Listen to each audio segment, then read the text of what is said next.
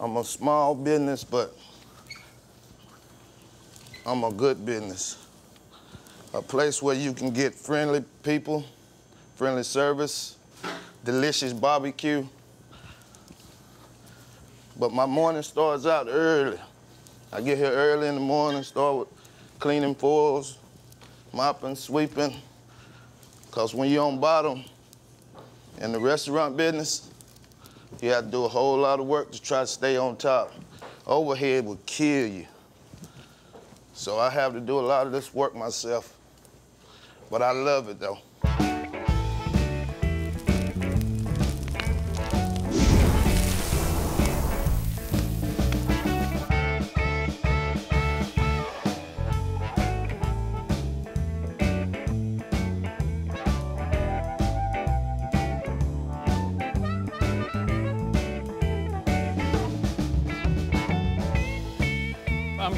The, what we produce here. Uh, it, it's a lot of work. Like I say, it takes a lot of time. I come in at four in the morning, and uh, hopefully I'm done by two to three o'clock in the afternoon. Most days I am. Well, who am I? John C. Bishop Jr., son of Big Daddy. So me and Dad hitchhiked to Selma from Birmingham, and Daddy, unbeknowing what he was getting into, bought this restaurant. The first three months that we were open, I didn't sell any pork. People would come in, give me a barbecue sandwich. I'd say, I got brisket. Nah, I don't want brisket, I want barbecue, you know. And I'd say, well, that's all I've got. And some of them get mad and leave. So since 2009, I think we sold uh, a little over 46,000 Boston Butts. My passion uh, for barbecue is a passion that my father had years ago, and his passion is my passion. When we when we started this out, we didn't have anything, so we had nothing to lose. Nothing has changed from the counter to the back door in 58 years. I make a fire like I make a fire. I cook the food the way I cook the food. From the counter forward, oh yeah, we've changed. We don't wait on tables. We got a mobile app.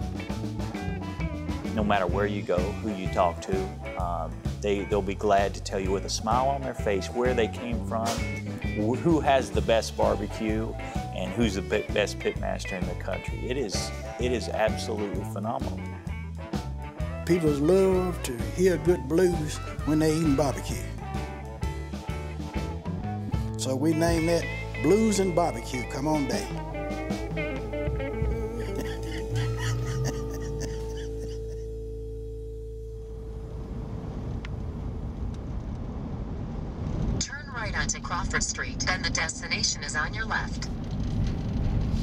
The destination is on your left, 21 Crawford Street.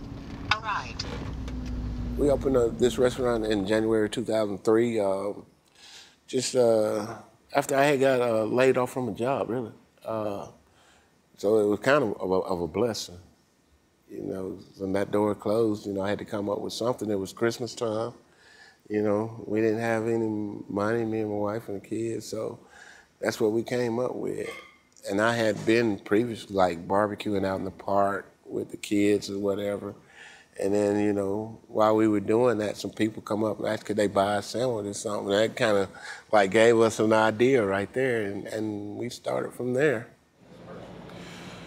Well, I got a phone call from my dad. That's how I started in the business uh, at an early age of about eight years old. And um, he called me down, said his uh, dishwasher didn't show up. Kind of something that happens a lot in the restaurant business. So I got the phone call, and my mom brought me down. And once I was down here, I was okay.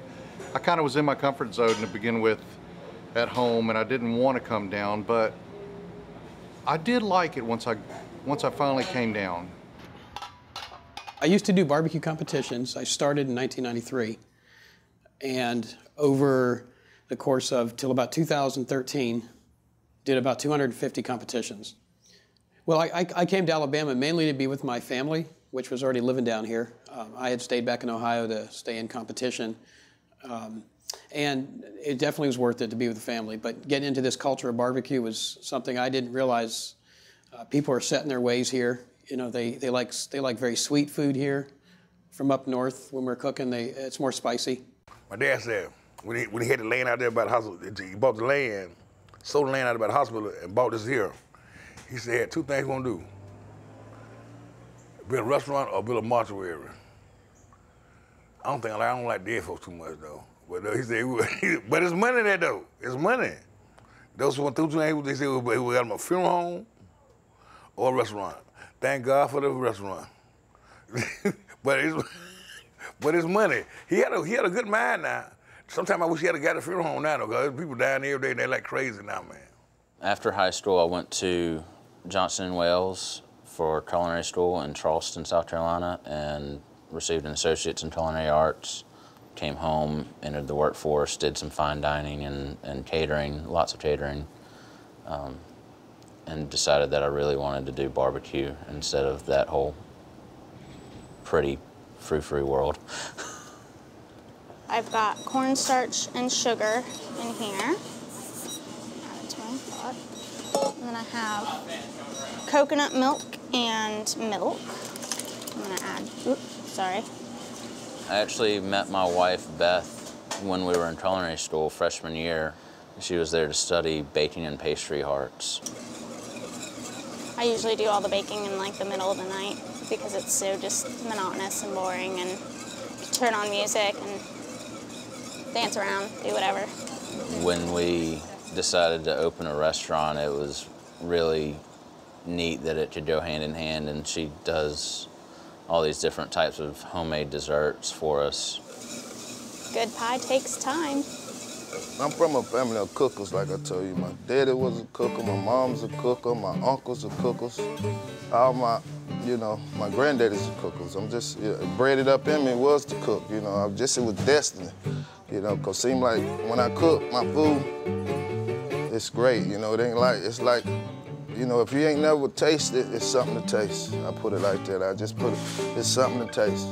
Everything from scratch, nothing imported homemade coleslaw, homemade baked beans, homemade potato salad. We even got homemade banana pudding. We cooking it on the stove. This ain't that out of the box stuff. This real food here.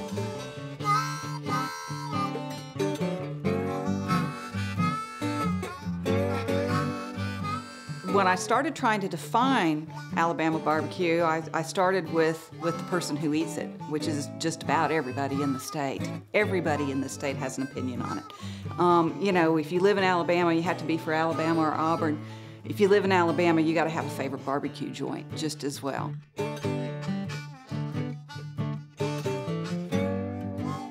Alabama barbecue takes the best of a lot of different regions and has worked with it for, um, you know, for 100 years, bringing in all these different flavors and making them their own. It is, um, it is something that the South does right, but there are so many different versions of it that um, it's a little bit like a Southern accent. People who aren't from the South hear a Southern accent, to them it all sounds the same. But once you actually get into the South and you listen to the way people talk, you realize that there's a hundred different Southern accents. Arguably, there's a hundred different kinds of Southern barbecue too. Uh, the difference is between an accent and barbecue is that everyone thinks their barbecue is the best.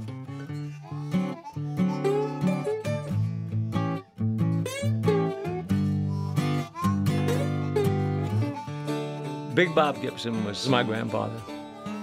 My mother was the Gibson. He actually had um, five children. And they all went in the barbecue business. Luckily for me, my mom and dad went in business with my grandfather. So that's why I'm here today. You know, I'm from North Alabama originally, Florence, Alabama, about an hour from Decatur. So I grew up knowing the Big Bob Gibson name. Uh, I went to University of North Alabama in Florence, and that's where I met my wife. My wife happened to be Big Bob Gibson's great granddaughter. Like I said, he had five children. An aunt and an uncle went in business here in town, across town, and called their business Little Bob Gibson. Two other children went to Huntsville. And so now in Huntsville, there's a Gibson's barbecue and a David Gibson barbecue. And then since my mom and dad went in business with my grandfather, we got to keep, and I got to keep, the Big Bob Gibson name.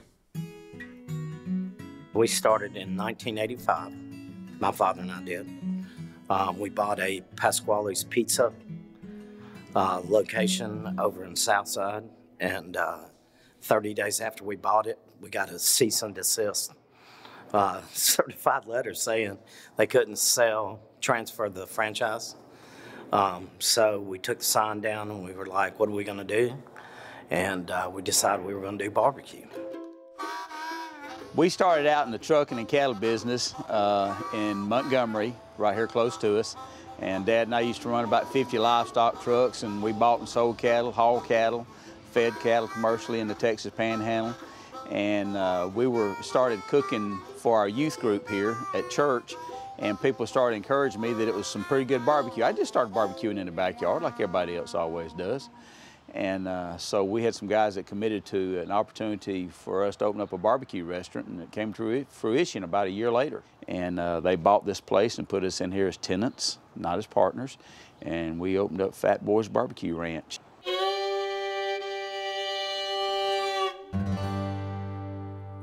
When I was in the chemical business, we cooked a lot, and we cooked on weekends for uh, church functions and stuff like that. And so we had smoked a lot of meat for almost 30 years. We had kind of perfected what we wanted to do, and time just, you know, came about that we just decided we was going to go in the barbecue business.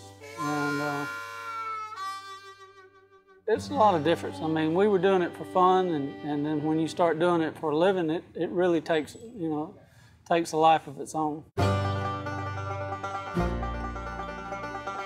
Today we had two catering jobs, and um, one of them was uh, 200, and one was uh, 500.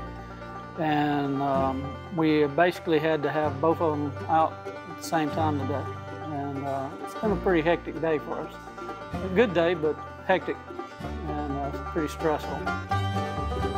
We did about 250 pounds of chopped pork, probably 150 chickens, whole chickens. Uh, dressings, 10 or 15 gallons of potato salad for one. We did 10 gallons for the other one. 24 gallons of green beans, 600 yeast rolls, 200 sliders for buns for one, and uh, about uh, 115 gallons of tea.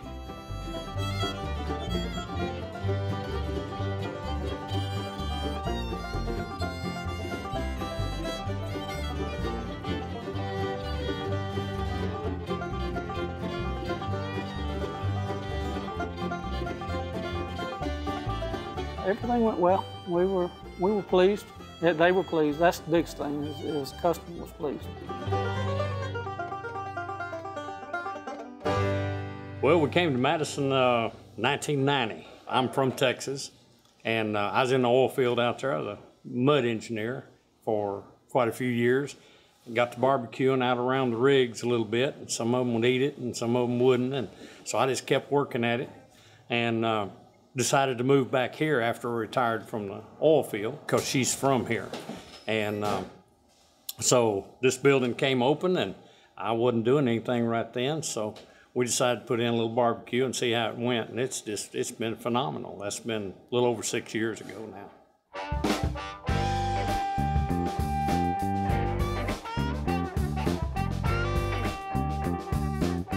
Most of my life, all my life, I was a mechanic doing mechanic work on University for Stockton Buick, building automatic transmissions and the Riviera and the 220 Buicks. I've done that for 27 years. Stockton Buick University. And uh, Mr. Stockton, he passed away. When he passed away, I started Melvin's Auto, my own business, Melvin's Auto. And as time went on with Melvin's Auto, and I done that a lot of years. I started messing with barbecue sauce. And, uh, and the barbecue sauce brought us all here together today. The barbecue sauce messing with this meat. When I was a girl, we had a stockyard out in East Selma.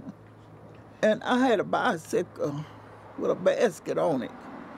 And I used to go out to the stockyard and get the hog and the man would tie his feet and everything and put it in the basket. And I would bring it back home. And they would kill the hogs. My stepfather, he started digging a pit in the yard and uh, put the wire over the you know, the, the pit. And that's the way he did the barbecue.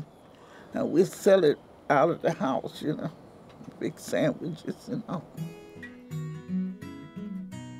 So my daddy came to Birmingham probably in the uh, late 30s. Like a lot of people, Birmingham was the magic city, and he met my mom, Maxine. My mom grew up during the Depression, and her mother used to cook meals and take in boarders, and that's how they got through the Depression was preparing food and selling it. Daddy went off to war, as all the men did, and probably didn't see each other for over three years. Uh, but my mama, it, during that time, went to work for Bechtel McCone, and she started wiring the B 25 bombers.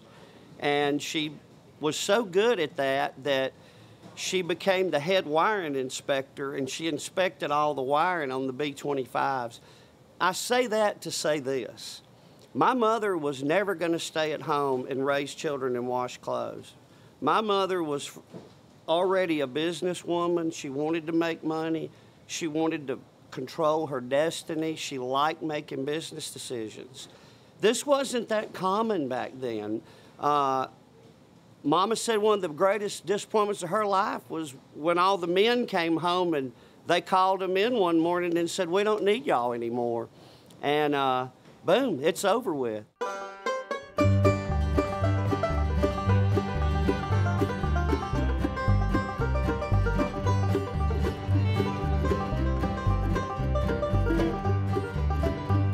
Caitlin, my fiance, she and I met in Tuscaloosa. Well, we actually uh, took a direct hit from the tornado in 2011. We were in Forest Lake. That was scary. We pushed the couches up against the doors and everything. We were all in the hallway with pillows and mattresses on top of us, and everything started shaking. The doors started, you could just like hear like the wind was just like sealing them shut. It was the scariest thing. We were hearing trees crack, and we were all looking up. We didn't know where the trees were going to land, and then all of a sudden it was over.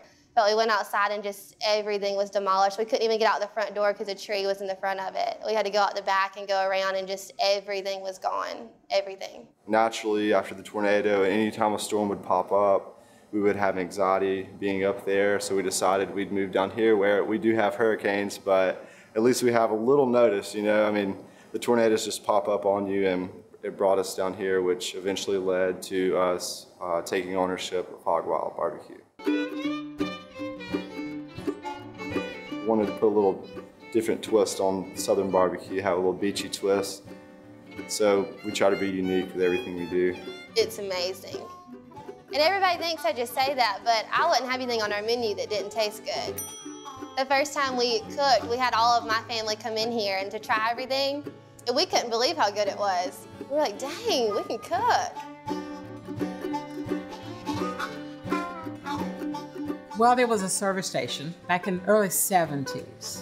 When Frederic came along in 79, it destroyed the station and the pumps. My father worked on, my father was a mechanic, and uh, he worked on cars. Well, I was working at a local paper company, and we were on strike. And I decided to come in the parking lot and build me a pit. And I started barbecuing. So after the strike, I came back a couple of times and I said, Dad, I can't do this. I'm working midnight shift. So I uh, stopped barbecuing. And he said, Well, baby, these people are still coming. What am I going to do? And so he decided to build the pit, the first pit back there. And we went into the barbecue business. And that was the beginning of Mecklenburg Barbecue. In the beginning, when I uh, when I started in uh, you know, like I said, I was learning how to cook, and what I would do is I would go out and look in the trash and see what people threw away. So that's how I knew I wasn't cooking, because you would see you see some ribs or something somebody threw away, and I would see like some blood, and I was like, oh, they wasn't done, so that's why they didn't eat them. So I knew I had to go back and practice cooking on that a little more. We have 34 locations now. The main reason why we grew was to um, give our employees an opportunity to be a partner. And so we have a operating partner in every market that we're in, um, which we don't franchise. It's a family-owned business, and they're skins in the game and they treat their business just like it's theirs, because it is. So it's been able, even though we've got, our family's gotten bigger, we still think small. And it's made a big difference for the success of the business. Restaurant business is a tough, competitive business. And when we split out and my uncle went to Collinsville and left me here, it, it's a lot of work on one guy, you know what I'm saying? I got a good crew that works hard, but like I said, I'm here, you might as well say eight days a week. Man, I never would figured I'd be doing it. I worked at plants, I did all type of stuff, man, but being my own boss ain't nothing like it, man. It's a lot of work in it, but ain't nothing like it, man. When me and Unc come here five years ago, he was trying to decide what he was gonna name it. And he went home and watched that Dewey Cox story. And Dewey Cox was a magician trying to get started in the business, and he kept having stumbling falls, stumbling falls, and everybody telling him he couldn't do it. He couldn't do it, you can't do it. You know, same way they were telling my Uncle Joe, you can't do it, you can't do it. And when Dewey made that hit song, Walk Hard, and went to the top, Unc said, that's what we're gonna do. We're gonna walk hard to the top in the barbecue business. And that's why I say, until you taste this, mm, ain't nothing like it. Barbecue really goes back to the very earliest days of the state of Alabama. Um, barbecue is something that Europeans picked up from Native Americans really from the very earliest years of contact in the 15th and 16th centuries. Um, Native American tradition was to cook on, to smoke over coals. Um, Europeans traditionally were more in the, the roasting game of things. Um, but um, but they picked up pretty quickly that this was a technique that they could apply to their own cuisine. And so by the 17th century, you have colonists in places like Virginia who are roasting, you know, who are smoking a pig over an open coal. Um, and that is something that by the time you get to the early 19th century, when you have the first, really the first uh, waves of European migration, uh, the first waves of African slaves who are brought with Europeans to places like the Alabama Territory, they're already bringing that custom and tradition with them.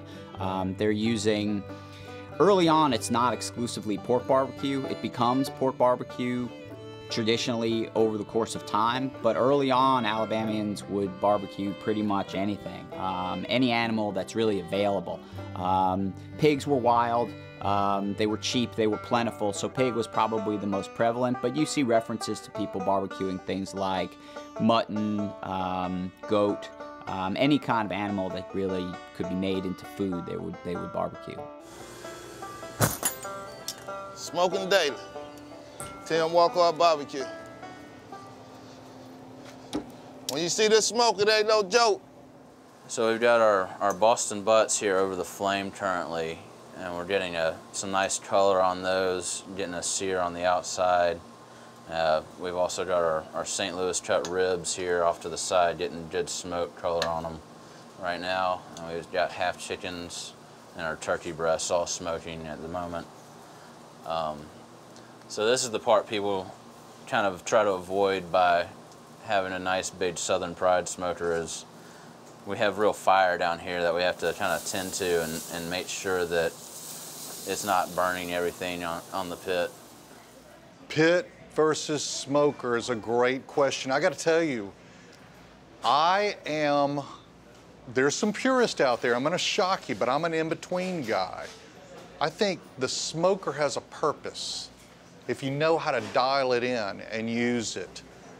And I don't think you're not a true barbecue guy if you have a smoker in your restaurant. I myself prefer a commercial style cooker, which has got gas assist, wood, uh, thermostat control, the uh, temperature, uh, I keep the temperature exactly where I want it, versus the uh, big pits that people might carve out of an old gas tank and smoke. Um, those do a nice job, but it's hard to get that consistency there, where you may get more toughness uh, and your texture can be a little gristly. Some people use a commercial smoker, and if it works for them, that's great. But I just simply don't believe you can come up with the same product. Um, I did look at one a while back that's uh, this natural gas, and you just load the meat into the pit and turn the gas on at night and come back in the morning and your meat's cooked. And uh, that takes all the personal touch out of it, all the character, if you ask me. You're able to set your temperature on these It has a digital setting, and uh, so you're able to maintain pretty well a constant temperature, which helps in the cooking process because you don't have to uh, stay up with it like you used to back in the old days when we just had the strict wood burners. It's not a set it and forget it type thing where you can say, I want my pit to be 275 degrees exactly at all times. It's more of a, hey, it's hot over here and it's not over here kind of thing. So it's really more of a, an art than a science because you have to pay attention to it. You have to have a feel for what you're doing. We're using a, a rotisserie gas-fired wood-fired pit now, as most all restaurants are, your bigger ones. I mean, that's what's revolutionized the barbecue business is these, these pits, Old Hickory and different ones. Um, it eliminates labor, eliminates uh, overcooking and that kind of stuff. But in my heart, I like the old shovel the coals under the meat. Uh, you get a lot better bark and that kind of stuff. But as much as we sell it, uh, it's just a thing of the future. Is what it is. To me, a smoker is what a conveyor oven is to a pizza. It cooks a good pizza, and it comes out on the other end just about the same every time. I'm more the guy that's got that brick fired pizza oven that's sticking that paddle under there going, hey, I think the fire's a little hotter over here on the right. Let me push this over here a little bit. Let me, oh, I got to put another log on here. I, and, and when that pizza comes out, each one is almost different because you've sat there and hand done it. The smoker, the pit is the same analogy. You've got to stand there and subjectively think, open the right door that far and slide that part of that door that far open. And when you've stood there all those years, you understand when you open the right side, the left side gets hot. You know, here's something else people don't realize. A barbecue pit burns different every day. Uh, what's the dew point outside? What, how's the wind blowing? What's the temperature? You know, when there's a high humidity point, it's hard to get a fire to burn. But when there's a low dew point, a low humidity, you got heat coming out the wazoo over there. So there's a subjective call in it. It's really not about just, you know, starting fire and throwing the meat up there. There, there really is, at one point or two in the cooking process, you've got to make a couple of decisions that are going to affect the way that comes off the pit, even though it's what you do every day.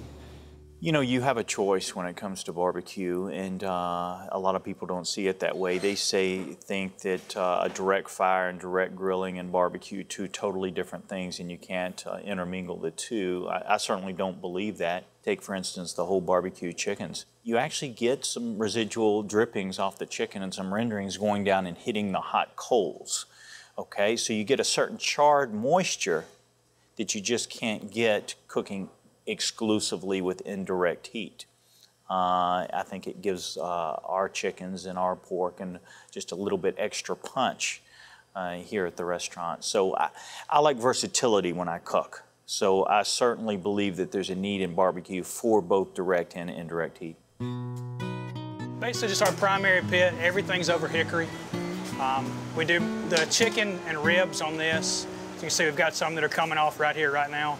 Um, they're generally about, say, like four to six hours. Just depends on the cut of meat. Depends how much fat's in it. Just to you know to get a good. It's a feel. So there's probably like a seven to ten minute window on it before they're either going to be underdone or overcooked. So we just have to keep an eye on it. And these guys do it enough that they can just feel them and they know when they're ready to go.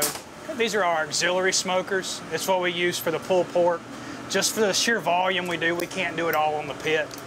So these will basically hold about three cases of pork apiece. And these are generally running five days a week. You know, Big Bob Gibson started back in the early 20s cooking in his backyard in a, a literal pit in his backyard. Um, but when we came to the restaurant, we had to take that pit and actually elevate it. So now we actually got sort of like a brick coffin. Oh, nice. Those chickens are ready to go. We cook all hickory wood. You'll notice our fire is on this side right here and all our coals and we will draft all the heat and smoke across the chickens and then go up the flue on this side.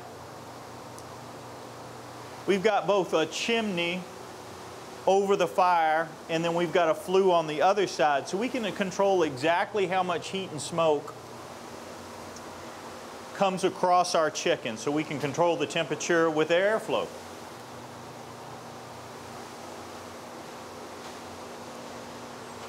When the pit guys get here in the morning, usually we drop on about 75 whole chickens. Uh, and that's just to get us to the beginning of lunch. As soon as these come off, we're going back on with another 75. A hot sizzling fire is really important when you're cooking, uh, uh, actually when you're putting the sauce on these ribs, you're, get, you're caramelizing the sauce. So if you don't have a flame, it won't sizzle that sauce right into the rib. So that's, that's one thing we do here. We cook with a hot grill. Even though this meat has been smoked for uh, numerous hours, this is the finishing process here. And this gives that skin a nice crusty outside, keeps the meat nice and juicy on the inside.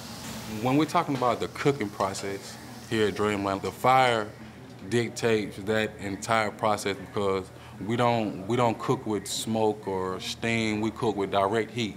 So the bigger the fire, the faster the ribs and smaller and so on and so forth. So like I said, that's why we try to focus on everybody cooking with a good even base fire. That way we, we can heat our whole pit up.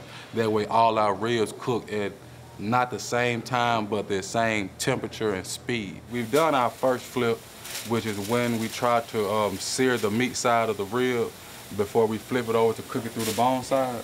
And when, when I mean meat side, I mean this, this, top half of the meat right here, the part that you actually would eat, as opposed to the bone side, which will be what's left when you get done. The pit requires so much attention and a man at it, you know, attending it at all times, because the fire can get wild.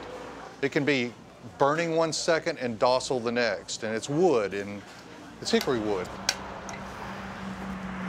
It'd be a lot more efficient for us if we were inside. Um, it's not very much fun in the rain. We do have tents, as you can see, but uh, when it rains, you get wet. And, uh, but the, the thing about having a smoker out here is that when the wind is right and the smoke just kind of sits on the road, uh, business is, goes up about 20%. And you know, we have people up and down there. We had one guy come in one day said, good God, I've been driving up and down this road. I got to have something to eat. The smoke's killing me. Uh, you want all the heat in the morning. You do all the heat in the morning, then, like say, around 12 o'clock, uh, hopefully it's all burned down to coals and just rest, you spend the rest of the day just a low, slow fire after that. But it needs to be hot in the morning, get all the big part of the cooking done then. The technique is uh, low temperatures, slowly cooked for a long time. And then that way the meat breaks down and, and develops more and better flavor. So if you want to look at it in temperatures, basically it's between 185 and 200 degrees is that kind of low cooking temperature.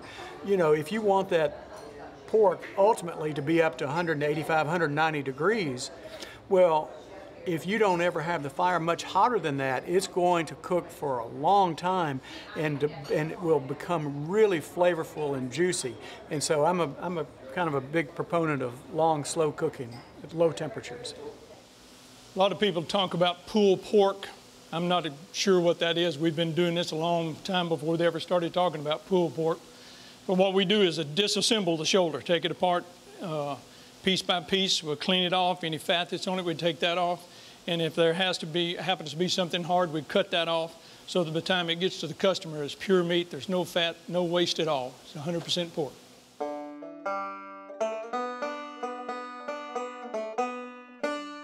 You go back to the earliest days when people referenced barbecue, wrote about barbecue, talked about barbecue, um, it was often tied very tightly to politics in the state of Alabama.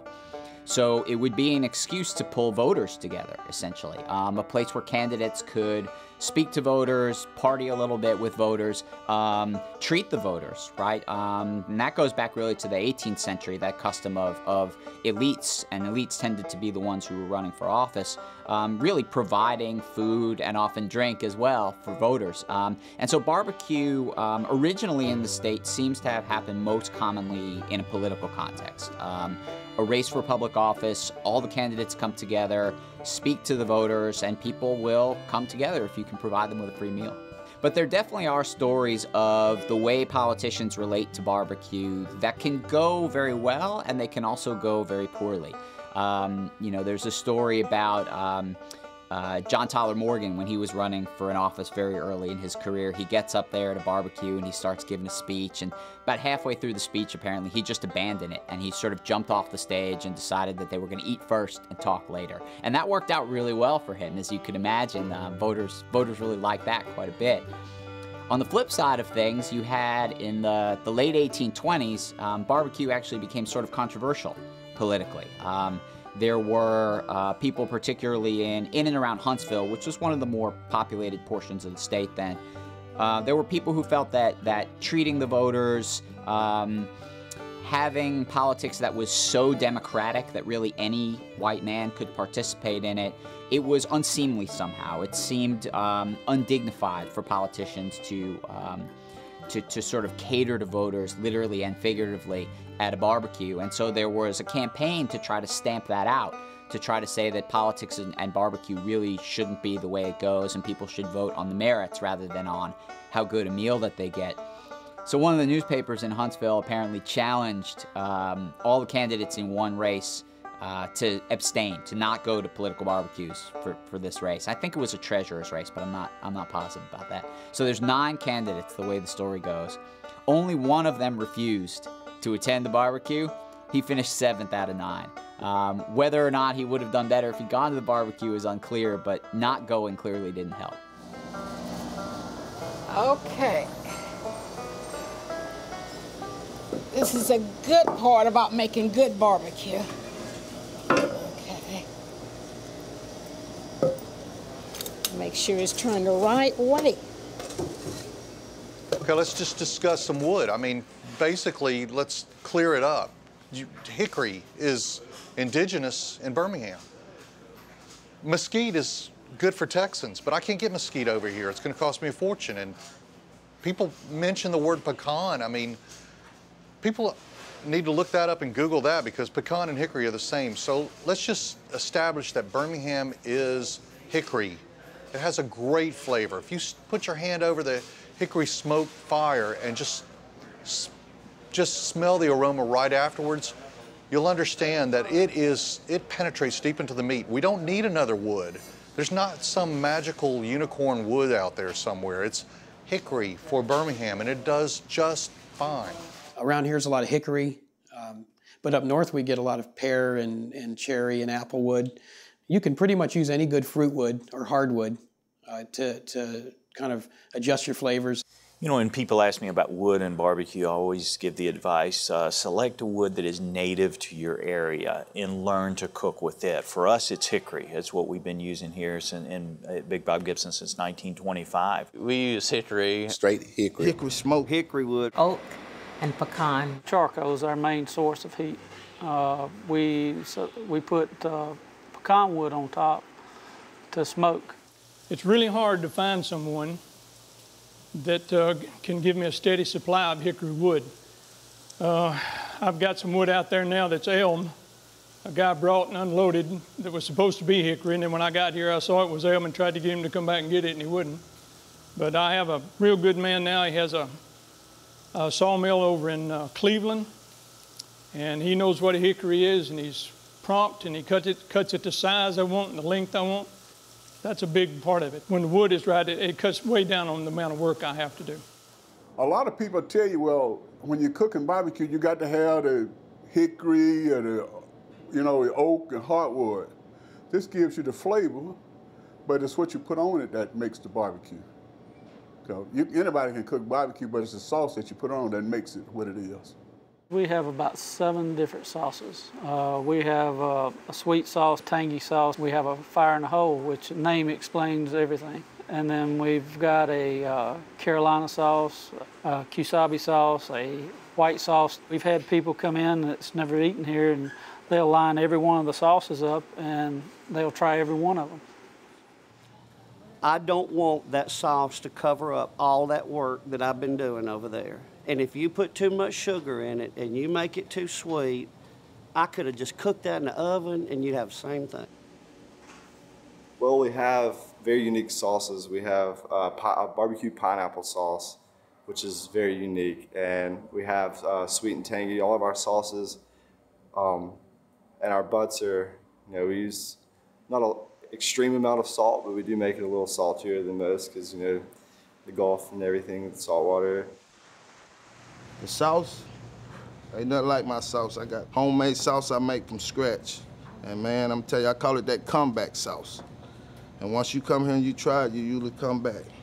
One of the things I did when I was researching the book was to eat the meat and not sample the sauce until the very last thing because if the meat doesn't have the flavor, then it doesn't really succeed. A real rib is without the sauce, you know. You eat off the grill, get the regular taste. Sauce, ha- sauce hide a bad rib, like the hickory smoke, you know. People don't, people don't, well, the sauce good, true enough, but you want to try real barbecue, eat it without the sauce. That's a true rib. Sauce wasn't defined in Birmingham in the 50s. So there were three restaurants that kind of defined it, and it was a tomato based sauce. So what happened was after the 50s, 60s, 70s, the definition was in, and this is part of our, um, I would say, tradition. People ask me why I don't have a white sauce, a vinegar, because I'm traditional and I'm staying toward, staying true to the tr- tradition that we've helped establish. We helped formulate it and define it. So it's a tomato-based sauce in Birmingham, Alabama. And one thing that sets North Alabama apart is Big Bob Gibson and the barbecue white sauce, his original white sauce. And that's what we're known for in North Alabama, as well as cooking whole shoulders and, and things. So we really hang our hat on our, uh, on our barbecue white sauce. Have I tasted some of the other sauces? I can tell you this, as far as white sauce, mayonnaise and vinegar doesn't doesn't set doesn't set my world on fire. I mean, no. I think our sauce is way more complex. You could probably give that recipe to somebody. Okay, put salt, pepper, mayonnaise, and vinegar together and just stir it in a bowl. But if I told you my sauce, it would be way more complex, and it's uh, a balance of ingredients that is moving toward a perfect sauce. And I firmly believe that the barbecue should stand by itself. The sauces, they're an option for our customers.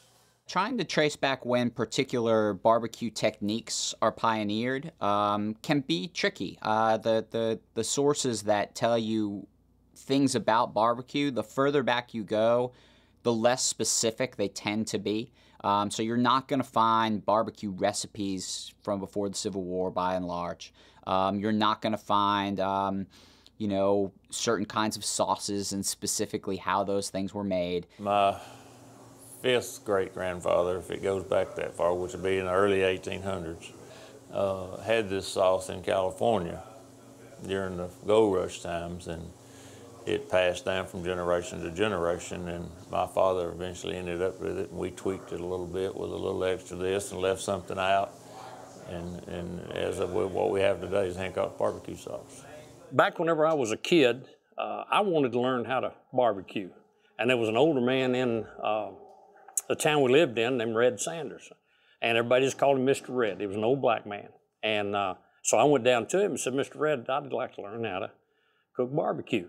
Can you teach me? And he said, I can't teach nobody nothing, but if you come work for me, I'll show you some things. He would show me stuff, and, and he kept, he always had a philosophy. He'd say, You got to know what's going on inside there with that fire and with that meat. And he had great barbecue. People come there and he only cooked so much a day. When he run out, he was out. But anyway, Mr. Sanders had that barbecue sauce. And uh, when uh, he got ready to pass on, I guess he kind of knew it was getting close. He handed me an old piece of paper, and I still got that.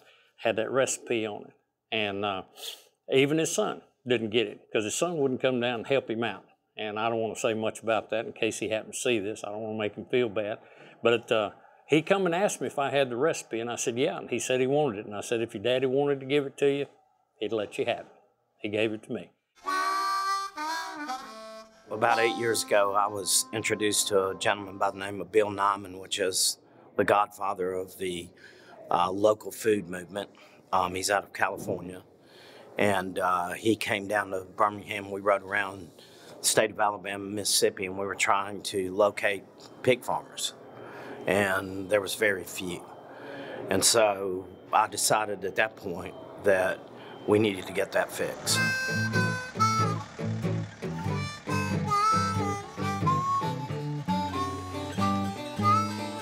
You know, quality of pork really has gone down for decades and decades up until the last 10, 15 years. And now we're getting some of our better places that are sourcing better quality pork that to me is very, very uh, important and is a big step in the right direction. The interesting thing to me about the Fatback Pig Project is that a lot of the narrative today in American food is about you know heirloom varieties of pigs, and uh, you know everybody talks about the importance of reviving these heirloom varieties of pigs. The way Southerners talk about it is we're going to start farming the way our grandparents farmed. We're going to start raising the same pigs our grandparents raised. They're you know our history, our legacy, um, and I think that's what's smart about what Nick is doing. There's a big difference in local and locale. So you won't find avocado farms in the state of Alabama, but there's not a better place to raise hogs than our state. And so we use 4 million pounds of pork a year, and we feel like that we have an opportunity to offer farmers the ability to be successful and grow and make money.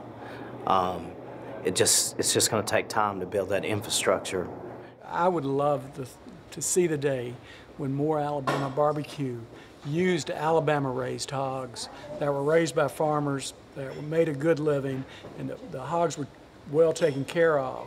And that when we eat local barbecue, indeed we are eating local barbecue and not just mass produced commodity hogs that have been uh, inside some confinement pen for all their life. We want the hogs to be raised like they would live naturally. Um, they're healthier. They uh, get to run around. Um, so the meat, when you get the meat, it's a very dark red, very marbled meat versus the campaign several years back where they said pork's the other white meat. It's not the other white meat. You know, and it should have never been that. You want well marbled pork that has big flavor. And the older breeds have incredible flavor. The meat's a little darker. The intermuscular fat or marbling is much better. I just thought it was a pretty sad thing to be in this part of the country where it's a it's such a natural, uh, you know, place to, to farm, and we weren't farming but it's putting people back to work. It's putting farmers back to farming. And uh, I think it's a great opportunity for us as a state to make a statement to get that going again.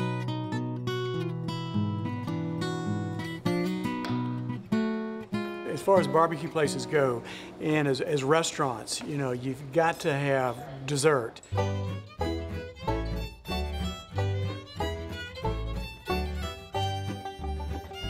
there are places that really put a lot of care and love into their cooking, they're definitely going to put it into their desserts. And I think about, you know, to me, one of my favorites is lemon meringue pie. And so when you go into a barbecue place and you see this meringue all over this sweet lemon custard, cracker crust, you know, I love that.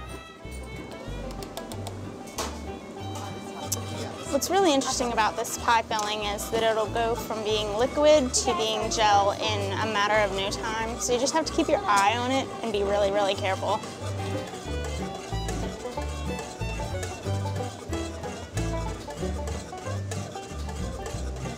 It's turned into the gel like I was talking about. I've got egg yolks here in this bowl and I'm just gonna mix some of this filling in with the um, egg yolks. It's called tempering, so that um, when I pour it back in the pot, the eggs don't scramble. My egg whites have started to um, foam up, so now I'm gonna add some salt and some cream of tartar to help stabilize the egg whites. We've had an entire cream pie go flying across the restaurant before and hit someone in the face, honestly, because someone tripped. That was fun.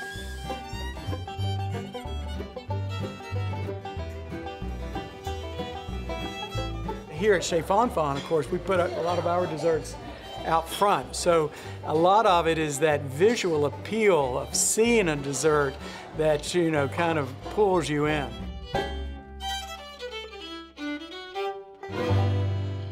Barbecue has become something that has really exploded beyond the South in the last 20 or 30 years, I think, and has become sort of a, a almost a, a, national phenomenon. Um, not in the sense necessarily that you'll see barbecue places everywhere, although you can find barbecue places in some very unusual spots, um, parts of the country you would not expect to see it. Barbecue does seem to be a thing that, that can draw people to the South um, in a way that I don't think it, it did in previous generations. Everyone knew that the heart of barbecue was in the South, but you see way more in terms of um, books, television shows, um, cook-offs, competitions, and you know, you go to a barbecue competition, there's teams come from everywhere, all over the country, sometimes from not even in the United States. But barbecue, for whatever reason, has gone from being something that's just sort of iconic of the South and really is something that um, that has come out of the South and now appeals to the rest of the world in a way that, that I don't think you would have seen, certainly not 40 or 50 years ago, and I'd venture to say probably not even 20 or 30. We're in the midst of a real renaissance now in American barbecue, Alabama barbecue. There's better barbecue being cooked now than when I was growing up. More people care about it. More people are dedicating their lives to growing good pigs and cooking good barbecue. So the prospects are great. Barbecue is going to continue to change, going to continue to evolve. People are curious about the South in general.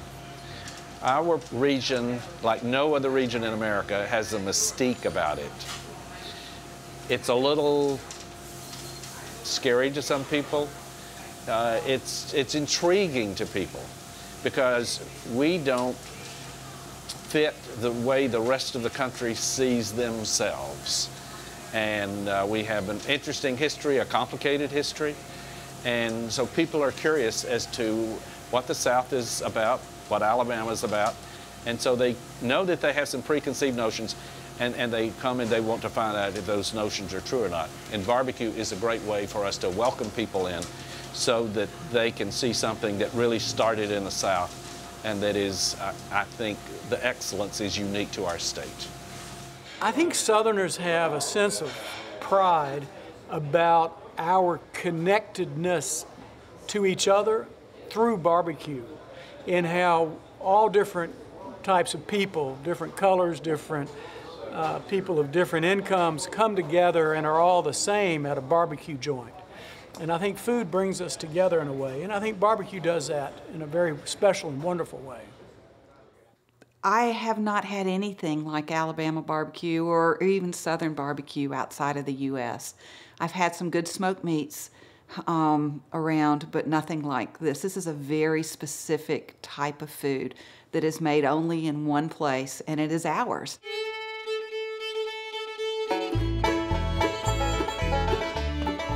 Barbecue is, is not just a job. It's a life. Barbecue's a lifeblood for me. It's uh, what's what keeps keeps me going. It's what I do every day during the week. It's what I do on the weekends as a hobby when you see somebody grab a rib and, and really enjoy it, it's just, it's pretty neat. You know, it's kind of like a baseball player hitting a home run. I started in the business when I was 19. I'm 57 now, and I love it's part of my life. It's part of my family's life. It's not a job. It's a way of how we live our lives. So I couldn't be happier. People comes in all the time telling us, say, well, we don't have any food and we're hungry. I'll fix them something to eat, you know. Give them something to eat because a lot of people are less fortunate. So you have to help one another. And that way the Lord keep on blessing you. The best fun part about this is my customers. Uh, we interact with everybody and take time off to go sit down and be with them, and and uh, they like that. They like the the personal touch. We care about this. You know, you got to care about something in order to have a good livelihood out of it, right? You don't care about your job, you can't have nothing good about it, right? So that's what it is, though. Try try to steal people's livelihoods. That's real, you know, put a lot of TLC in it. You know, it's a privilege to be working at Dreamland. Barbecue matters in Alabama as a totem of black and white. Um, and it's a shared creation. That's why it resonates. It's one of the reasons Southern food resonates, is because black and white can see their hands on our food. I mean, this is my life. Literally, if you took this restaurant away, I would have to find another purpose. I couldn't just go to another job because I was bred to do this. I mean, at eight years old, your dad calls you in and you work with him for 20 years side by side. He mentors you. And this is the only job I've ever had. So this is it. As far as barbecue goes, it's the true American food.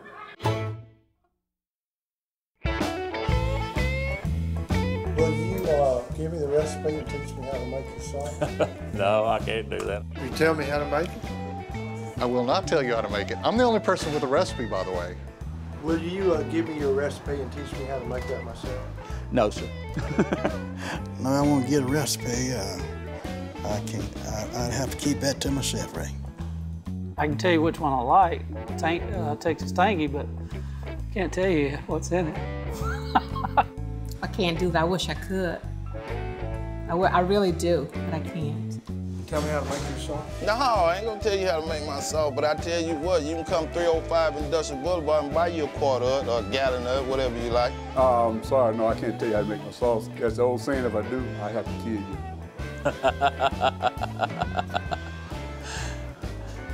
You, you know better than to ask if you can have the recipe for the sauce.